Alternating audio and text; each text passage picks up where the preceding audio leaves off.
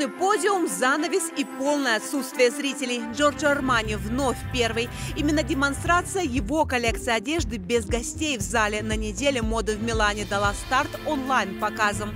Российская же неделя моды изначально обошло стороной офлайн. Все дизайнеры презентовали свои коллекции сразу в видеоформате.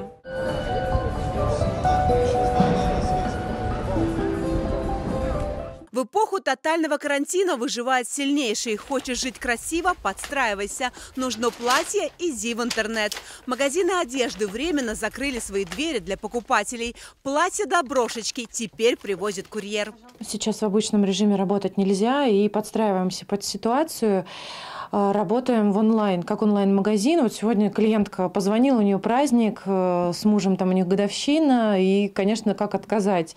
А, собрали платье, она заказала красивые сережки, платье и очки солнечные. Стилисты тоже корректируют свой процесс работы. Теперь ревизия гардероба по видео или фото. А шопинг сопровождения с помощью переписки в чате. Профессионалы отмечают в этом даже плюс. Так, перебирая вещи, человек научится их комбинировать самостоятельно. Мы не знаем, как долго продлится карантин и чем мы будем заниматься летом и где мы будем вообще этим летом. Поэтому, если делать сейчас покупки, то я рекомендую вкладываться в долгоиграющие тренды. Например, в вещи из эко-кожи или из кожи. А, далее, в обувь светлого цвета а, с устойчивым каблуком, с интересным каким-то каблуком, да, с острым мыском или с квадратным мыском. И в необычные аксессуары, в крупные броши, в крупные цепи или в крупные колье заметные разноцветные, в асимметричные яркие серьги. Розовое пальто для дочки, для себя модный костюм с юбкой на запах.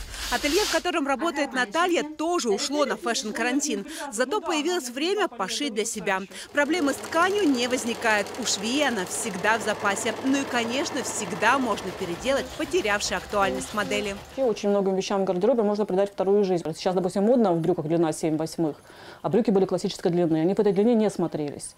Стоило обрезать буквально там на несколько сантиметров, и брюки совершенно по-другому смотрятся. Можно, в общем, реально можно обновить гардероб, просто переделывая старые вещи. Даже если вы не умеете шить и на вы с онлайн-шоппингом, одеяло и фантазия есть у каждого. Быть модным, веселым и счастливым можно всегда.